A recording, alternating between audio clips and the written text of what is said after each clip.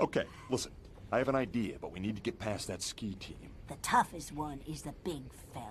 Really mean looking with a fat head and a thick skull. Looks like a shaved ape.